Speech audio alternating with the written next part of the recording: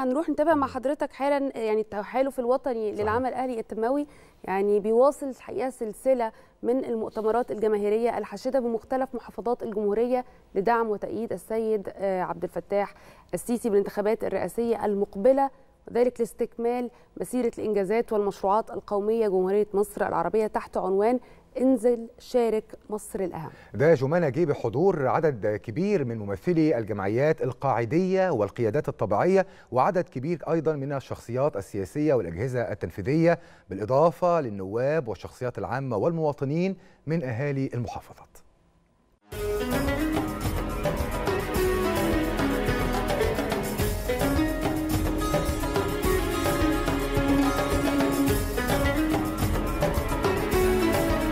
دي المحطة العاشرة لمؤتمر حكاية وطن بين الرؤية والإنجاز للتحالف الوطني واللي كانت بمحافظة أسيوط. وده لدعم وتأييد المرشح الرئاسي السيد عبد الفتاح السيسي لفترة رئاسية جديدة لاستكمال مسيرة الإنجازات والمشروعات القومية بمصر. الناس كلها في شعب أسيوط هنا تؤيد سيادة الرئيس عبد الفتاح السيسي في فترة رئاسية جديدة. في الحقيقة أنا ما كنتش متخيل هذا الحشد الكبير. هذا المؤتمر وهذا الحشد العظيم جاء من كل صوب واتجاه في محافظة أسيوط لتأييد ترشيح السيد الرئيس عبد الفتاح السيسي لفترة رئاسية جديدة من أجل الأمن القومي المصري ومن أجل مصلحة مصر شعب أسيوط كله على جميع المحافظات بيقول للرئيس ربنا يوفقك واللي عملته لمصر ربنا يحفظك ويسر ليك الأمر. خلال المؤتمر تم استعراض جميع الإنجازات والمشروعات اللي حققتها الدولة المصرية داخل محافظات الجمهورية، خاصة في محافظة أسيوط وده بحضور عدد كبير جدا من المواطنين وعدد من قادة الرأي بالمحافظة. إحنا عايزين إقبال جماهيري غير مسبوق على صناديق الانتخابات